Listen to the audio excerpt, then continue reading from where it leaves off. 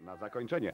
Bramki padały w Opocznie. Stasiak Ceramika gościł Aluminium Konin i to właśnie Koninianie jako pierwsi strzelili gola. Po strzale Artura Majewskiego z rzutu wolnego piłka odbiła się od poprzeczki. Najsprytniej w polu karnym zachował się Grzegorz Bała. W 41 minucie meczu Aluminium objęło prowadzenie na stadionie w Opocznie.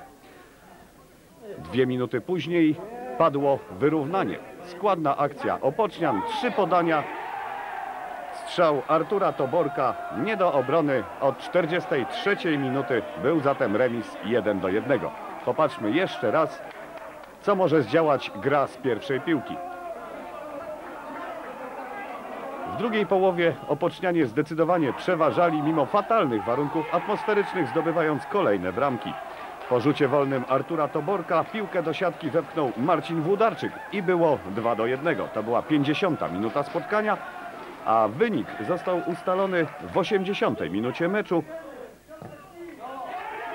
Strzał Artura Toborka, piłka przeleciała pomiędzy nogami zawodników ustawionych w murze. Opoczno wygrało z Aluminium Konin 3 do 1, a dla strzelca w nagrodę było prawo podniesienia swojego bramkarza do góry.